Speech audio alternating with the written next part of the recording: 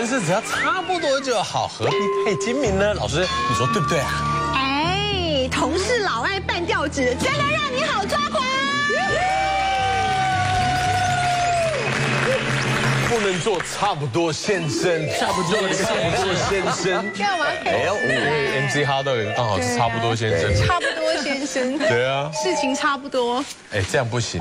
你问他说有老师没问题办好了，我的没有寄过去了。嗯。后来才发现人家没有信箱，他的地址抄错，根本没收到。事实上，你寄一个通知去，应该追说你收到没，确认。后续多一个数字多少一个数字都是学问了。有啊，我这种事情吃亏很多。后来我就盯我的助理说，你要确认他知道他收到。在你旗下的绝对不可能有差不多这件事情，对不对？其实我自己就是没差。我也觉得老师应该少一根筋的吧。你真的差不多就好。可是我是我有发觉到一件事情。哎，什么事？比如说你要办那个夏令营校外教学。哦，对对对。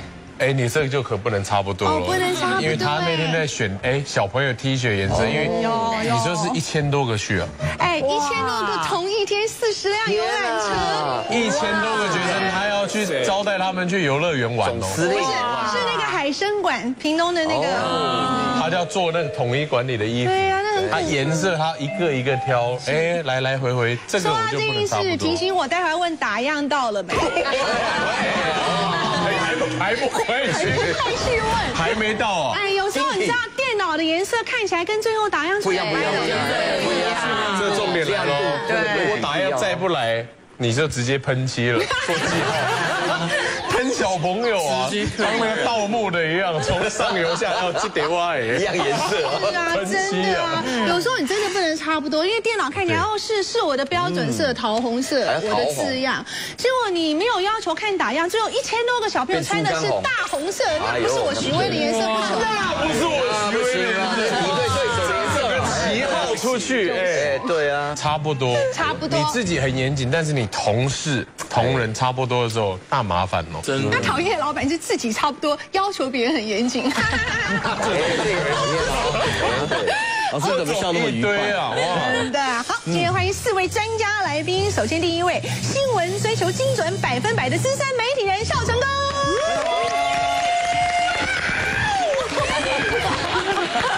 好久没叫一下，好久没叫一下。你好，凡事差不多，其实差很多。到时候老板会对你讲，你马卡差不多哎。哦，那就严重了，严重了。对，下一位，经常被半吊子同事害到的职场观察家张璇。如果工作表现只求差不多，那么你未来的工作成就就会差很多喽。哎，欢迎雪兰。下一位，深信墨菲定律也会害人的生活观察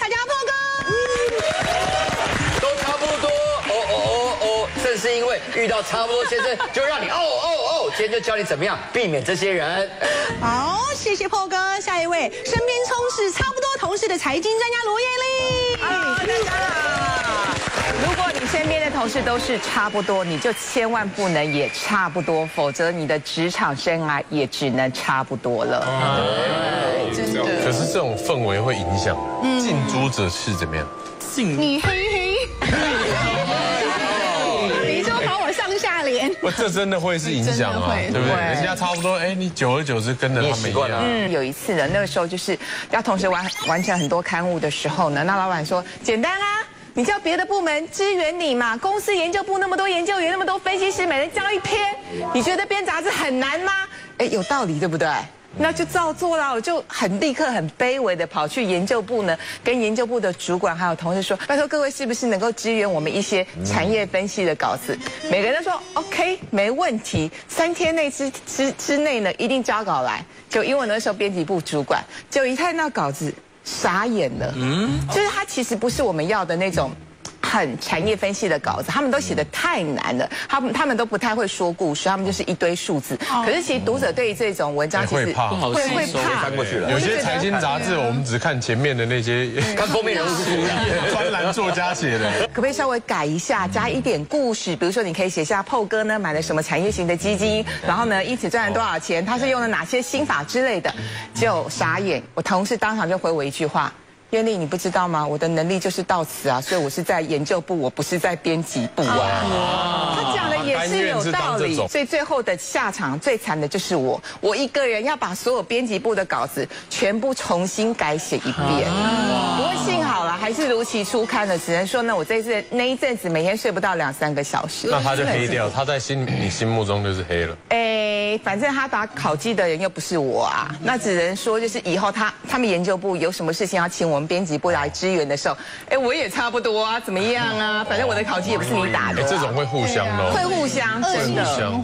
刚刚老师有讲到说是那个你那个制服的大样，对不对？嗯。我就想起来我们过去的我在一个报社的时候，我们有一个同事，他也就是自告奋勇，就说哎，公司因为他啊一年有两套的制服，我们那个报社很奇怪，就要求要穿制服。就后来就定制制服，那定制制服的时候呢，那他就找了国外的厂商，然后因为报社很有钱，所以就 OK 就让他去发包去处理，处理完之后大家开始量量量到最后的时候就应该要。发发完大家穿嘛，就记得那一天的时候开的是我们就是整个报社的所谓的编采业务大会这样，就大家一穿上去之后呢，呃，所有的男生觉得怪怪，你知道为什么呢？哎，怎么了？因为他在勾选那个的时候有 F 跟 M，他就要他把全部勾成女生，女生的那个衬衫有胸线，你知道吗？我们穿起来之后都觉得奇怪，怎么胸部好朗朗的？女乳症，最好笑是我们的社长。那一天的时候，表因为他老先生不知道这个为什么中间会有一条横的线在这里，这样，他还把外套西装脱掉，我们就看着远远就看他这样子，中间就有点朗朗的这样子，然后好前卫的穿着，真没想到了嘛，这个差不多完了，最后就挂了嘛，这个最后我们有在这个外商公司、资讯公司的时候，我跟他，我们某位。差都差不多，先生就一起去这个上海，然后去受训。因为那时候当时有一套这个所谓的物流管理系统哦，非常先进。我们已经把它卖给国内某家的大卖场，然后要派我们两个人去受训。那他负责的是进货的部分，进货部分的设计跟系统的这些设计规划。我是负责出货，所以我要接他的东西。所以他去先上完以后呢，我就后面的再去上。就我要看他的这个笔记嘛，一看，哎。啊，怎么都在画那个鬼画符，要不然就在画漫画，哦，完全就没有这记任何重点。然后我就说，哎，啊，你写这个我都看不懂，等下我没办法接你的工作。他说，哎呀，这差不多吧，这个这个要靠脑力的，这个写这个都没有用了，你就随便听一听，只要当场会记会操作就好。我们去那边这样食宿啦，加上这个教育训练，一个人花了一百多万，所以他一百我一百就已经两百了。好，两百万以后回来，好开始做了哦，在这个大卖场里面，大卖场大家知道这种货仓很大，要进出入系统，完蛋就看那个他们有机器手背，哎，要去抓那东西，应该是要。抓到东西，然后把它回到归位原原来的娃娃机哦，对，类似这种，没错，但是更大台的那种，然后很大台的那种，有没有？还可以加那种层板，整个夹起来那种，就是看，嗯嗯，哎。哎哎，他就一直抓不到，你知道吗？所以你就把它调过来一点啦，是吧？我会，我会，放心放心。我记得那时候怎么弄，就一条，哎哎哎哎呀，这都夹不到，甚至到最后是哎夹到了，呃，砰，整个这样掉下来，整个货物都烂掉。然后客户看了傻眼，我说你这个系统是怎么学？你连进货把所有东西堆到仓库，分门别类堆到仓库都没有办法。基本功夫。对，相对来讲连我都不行啊，因为我是负责出货的部分，你货根本没进，出货根本不用出。结果那个大卖场的案子几千多万，我们刚刚讲到两百万，两百万那还是小事，整个几千万，客户说你们学了什么差不多的功夫，还说什么最标准的这种所谓外商系统，完全是乱七八糟。我要准，我要解约，就一解约起来。公司整个损失两三千万，就因为他觉得说，哎呀，没关系了，我都记得住，记得住。事实上，人的记忆力没那么好，写下来。真的。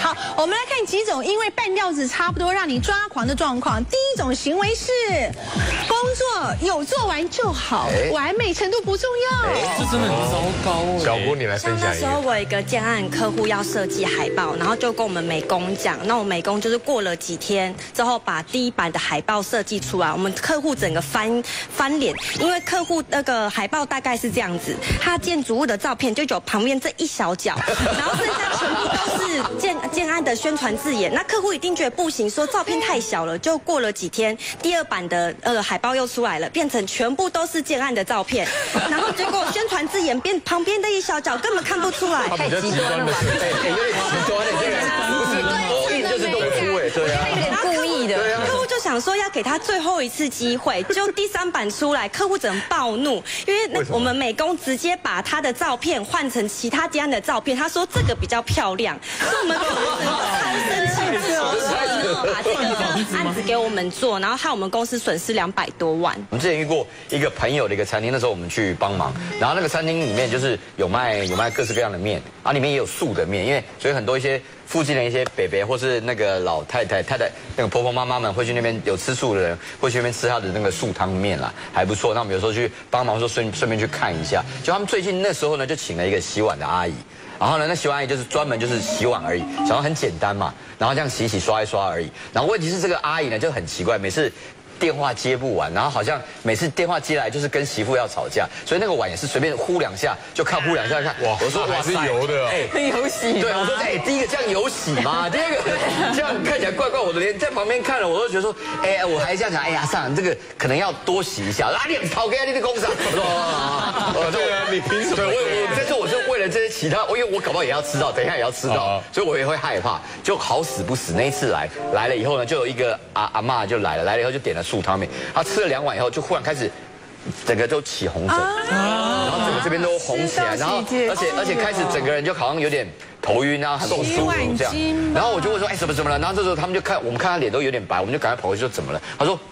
原来他是身体比较有特异体质，吃到碗可能他真的没洗干净，上面还有一层半的猪油，猪油，所以在他这样吃起来之后，他以为是素油香油，就没想到居然是猪油。喝了两三口以后，就整个人就发作，整个红疹，然后害我们跟那个我们的那个朋友老板一直跟他对不起，然后还送他去医院，然后才跟那个所谓洗碗小姐讲，你觉得你少抹两下没有差很多，工作有洗到就好，其实真的差很大，搞不好还差点闹出人命。你看多哎呀，对，其实刚刚破讲这一段，就让我立刻想到我自己的亲身经验，因为。哈，呃，我自己也是过敏体质，那所以呢，像我每次去泡温泉的时候，阿 Po 知道我是过敏体质。哎，我怎么怎么为什么？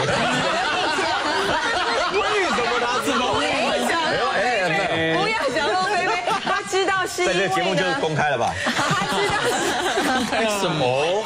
为什么这一段过去？知道是因为他们家的产品有卫生棉，然后他们家的产品是。自然的抗过敏的，所以我有在用。对，所以他是代言。大家不要想歪歪。我体质也是蛮敏感的，所以我不想知道。我也想代言一下。太多 information，太多资讯了，等下接手会杀了我。讲完，好，是不是跟你讲我体质也蛮敏感？你也想试用吗？下次去看。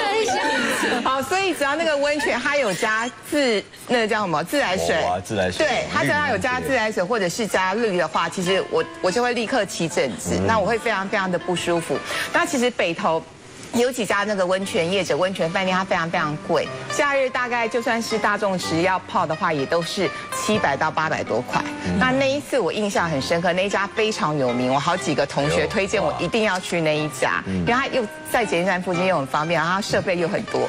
结果我一到那边的时候，我就问那个店员就小姐，我就问她说：“哎，请问一下你们的温泉是不是纯天然，不加不添加任何的自来水或者是氯？因为氯可以消毒杀菌嘛。”就纯天然的温泉，然后那小姐店员就跟我说：“卢小姐，她立刻认出我。她说：卢小姐，我跟你保证，百分之百的天然的温泉绝对没有问题。”那他很诚恳的跟我讲嘛，对不对？那我就对我有跟他解释说，为什么我会这么机车？我不希望让你觉得我这么机车，是因为我泡了之后我会立刻起疹子。